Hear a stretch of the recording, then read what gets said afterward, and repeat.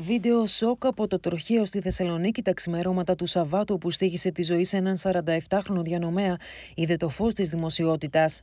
Στο βίντεο ντοκουμέντο αποτυπώνεται η ηλικιώδης ταχύτητα με την οποία κινείται το αυτοκίνητο του 29χρονου Αλβανού οδηγού.